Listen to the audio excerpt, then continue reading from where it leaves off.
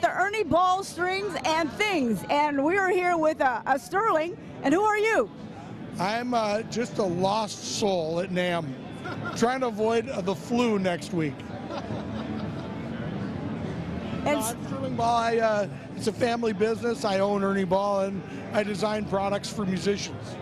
And uh, what's what is the highlight of your strings and your things? Well, highlight we're the first rock and roll guitar string ever, and we're still the number one guitar string uh, in the world, and electric guitar string.